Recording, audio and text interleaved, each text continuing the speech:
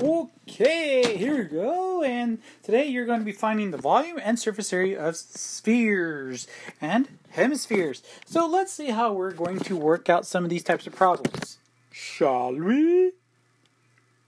Right, if you look at the worksheet, you should be able to say find the um, like see this picture of a sphere and it's going to talk about the parts of a sphere. So let's look at the parts of a sphere here. So if we go just like okay, first off, a sphere is a solid in which each point is equal distance from the center. So it's like a circle in all sorts of directions. okay, so there is a radius. Okay, and, and, again, that goes from the center straight out to any edge of the sphere. Okay, there is a diameter. That goes from the, um, oops, let's do that. And then that goes from one edge through the center to the other edge. Okay, so keep in mind, like if you have something like that, and let's see if I can do this. Oops, let's not do that. If you have something like that, you can go, you know, across, as long as it's going edge to edge and through the center. It's kind of hard for me to keep that track. You should be okay. Okay, um, erase that, and then let's see here. Uh, oh, of course, there's my center. Oh, I should have remembered that. Now, what makes spheres unique is they have what is called a great circle. Okay? The great circle sounds like it should be some type of sci fi thing. But the great circle is basically the circle that slices here into two equal hemispheres. It is basically the circle that's going to have the largest area of, of a sphere. Okay, and because you could, you'll, I mean, later on, if you ever get to the higher mathematics, you'll talk about how these are, can be sliced up into different slices, parts, and you can see different things from that. Anyways, uh, so let's look at that, or let's look at more about this. Okay, so here are the basic formulas for these. Um, notice that you have pi r cubed and pi r squared where you have them on the volume four thirds. And, and notice that like on a sphere, the volume on a hemisphere that is the volume is half of a sphere because it's half of a half of a sphere. But the surface surface area is not quite half, and that's because where a sphere has like like all of that going around, a hemisphere is only half, but it still has the great circle part to help make up that surface area, and that's why that's three pi r squared, not four or not two pi r squared. Anyways, so I digress, and I just wanted y'all to see that. Um, so let's look at these types of problems and, and see how we can say solve some of these. I mean, it's pretty easy. If you have a calculator that you're trying to use, let's say off your phone, and you don't know how to do pi r cube, keep in mind that just means, like here, saying radius times radius times radius. Okay? So if you don't have a way of doing a cube, just multiply it times itself three times, and you've got cubed. Okay? Anyways, Okay, so on like something like this, they're asking you to say solve. So you've got to be able to solve this and kind of go from there. Um, oh, no, I'm losing my place. All right. so here, like they want you to find the volume. Oops, helps if I'm on my pen. And again, fourth. Here's the radius. So four thirds times pi times the radius cubed.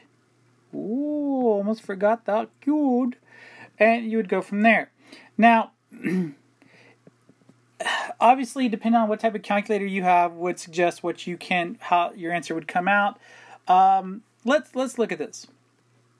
So I typed this into my calculator, and I got 457 point say three three three three three three pi. Okay, and again, I want y'all to know that like if I do all the numbers part first, like this and this, and then give you that answer that that's and put a little pi on the end that's uh, that's what would be called in terms of pi now of course most of the time i would want you to actually multiply by pi so times pi to get an answer of 1436.76 inches cube cubic inches okay?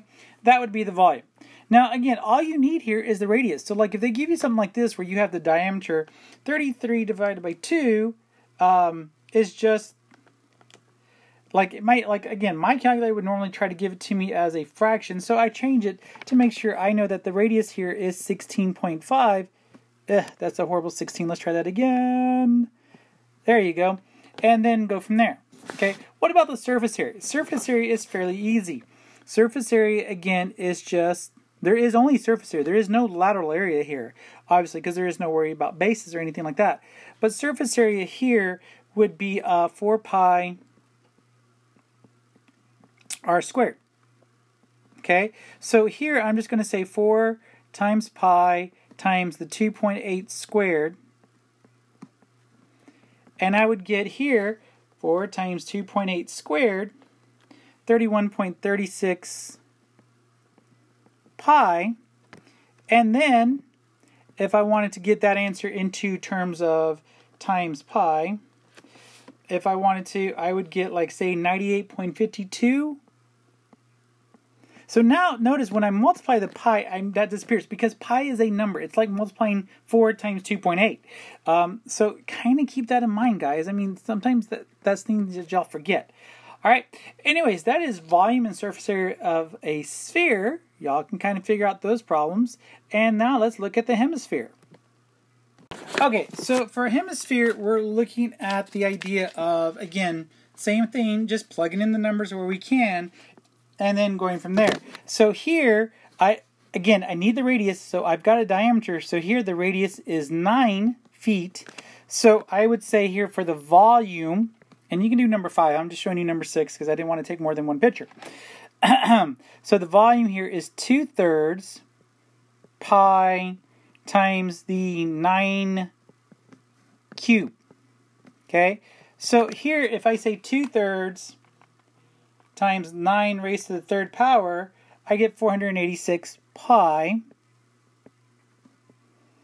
And then from there, I can multiply by pi to get 1,526.81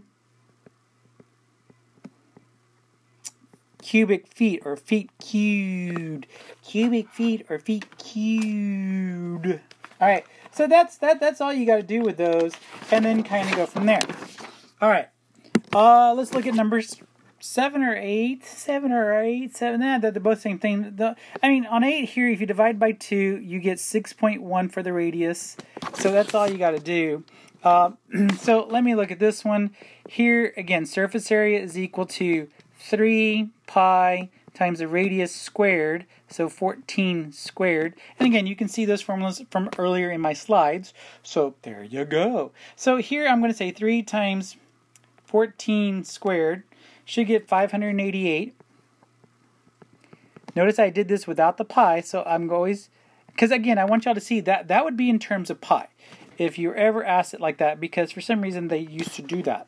Um, anyways, times the pi, and you get 1,847.26 square yards. 0.26 square yards. Okay, and there you go that is it for that. It's not very hard at all. All right, so how can I make this hard? Okay, so let's look at these application problems. And yes, I'm going to ask you to do some of these application problems or whatever. Um, so find the volume of a sphere with a great circle area of 201.06. Okay, so keep in mind the great circle is just a regular circle, which means that the area of that circle was pi r squared.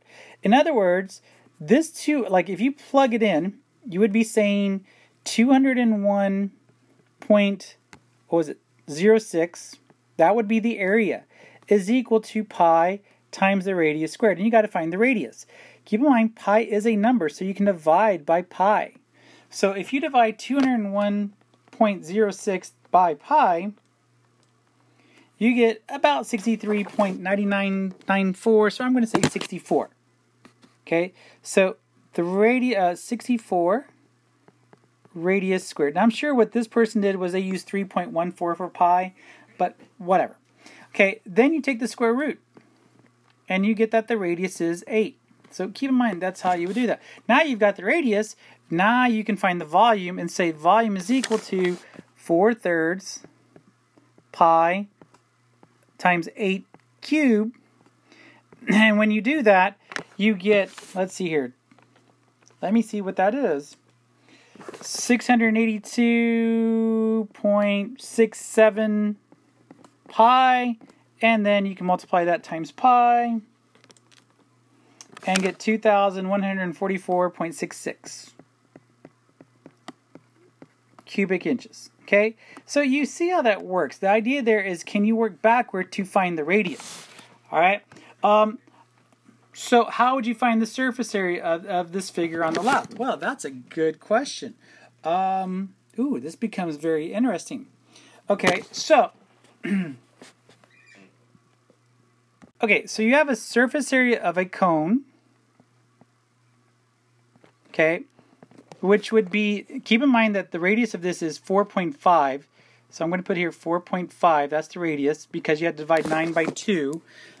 and the surface area of a cone, if you go back and look, would be pi times the radius squared plus pi times the radius times the slant height. Okay, um, and you do all that, you get something like 78.75 pi. Okay. Um, okay, so that's the surface area of the cone. Then you have the surface area of the hemisphere. I'll do something like that, um, which would have been 3 pi times 4.5.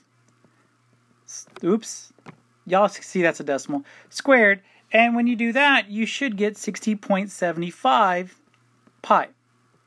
Okay, the reason why I'm not multiplying those out is because I'm limited on space. Here's the thing, okay? This surface area is made up with this circle on the bottom. This, ah, I thought I hit the, this. Okay, this hemisphere is made up of a surface area with that circle on top the great circle in this case. So we actually have to find the great circle. So I'm going to put here great circle. And, and if you do that, that area is pi r squared, which would be 4.5. So that would give you 20.25 pi. Now, you would have to add these two together. So I'm going to put here uh, let's do this. Do, do, do. Nah, let's do this. I meant to go like this. Okay. So I'm going to put here the surface area is equal to that 75, the total surface area or whatever, is the 78.75 pi plus, okay, this one plus this one because you're adding a cone plus a hemisphere, 60.75 pi minus that circle because that circle is actually covered up by those two. But that circle is counted twice. It's counted once here and once here. So I'm going to say 2 times 20.25 pi. Now, with all those pi's, all you would actually be saying is this 78.75 plus 60.75 minus 2 times 20.25. And when you do that, that's a good question. What do you get? You get 99, which would be 99 pi, and then you could multiply by pi at the end. That That's what I would do. That way you don't deal with some messy numbers. And there you should get 311.018, uh, so we'll say 02 square meters. Okay, so you kind of see the idea how that would work. Like you have to keep in mind, like in something like this, like if they say, uh, let's see here, okay, Assuming the entire space is used, what's the maximum amount of grain the salad can hold? So this one is a volume formula. This one was a surface area. So notice on the surface area, I, I had to take this surface area for this whole thing, but I took out that circle. I had to take out this surface area for this, but I took out that circle. Okay? On a volume, I just got to find the volume. I got to find the volume of a cylinder and the volume of a hemisphere. So here, let's do it this way. Volume is equal to 2 thirds Oh, do I need any other information? That's a good question. All right. Keep in mind that this radius is 11 feet, which means from here to here also is going to be 11 feet because that's this distance right here. Okay, so that's 11. Okay, so if I subtract 11 from 45, I find out the height of the cylinder is 34 feet. Doom, doom, right? Because I kind of needed that. Now, so here I would say 2 thirds pi times 11 cubed, which is equal to 187.33 pi. And then let's do the volume of the cylinder. Do, do, do. The cylinder would be pi times the radius squared, 11, times the height, which was 34. Okay, and again, you can look up that formula. So I'm having to use different formulas. This is where having a formula sheet probably would have been helpful. Anyways, um, and that one I get 4,114 pi. Now I can add that this part with this part and just stick a pi on the end, and the volume of that would be, see here, plus 887.33. Whoops, I multiplied. So make sure again you type it in correctly because I multiplied. Oops, oh well. And you get 5001.33 pi. And then I can multiply by pi and get a volume of 15,712.1 cubic feet. And, and again, guys, that, that, that leads to so many other things that you can discover and would make things fairly interesting. All right, so what do I want y'all to do? Um, okay, so I did include all, all of those, those problems. So for the assignment, okay, hopefully you got those notes. and, and, and let's say um, so let's say that you, uh, for CP, y'all can do pages 3 and 4. So the last two pages of this worksheet, the odd problems 1 through 15. So 1, 3, 5, 7, 9, 11, 13, and 15. Okay. If you want to do some of the others, go for it. You know, learn, try, do, you know, uh, it wouldn't hurt. Pre-AP, you should be able to finish out these problems. I mean, most of this stuff is pretty quick to type into a calculator. If you have some problems with the uh, the application problems, I understand, but do your best. Anyways, guys, as always, if you have questions, feel free to email me, text me, send me a remind, whatever. Uh, I am replying to them as quickly as I can. I do hope y'all are being safe. Take care, enjoy, have a good day, and thank you so much for your time.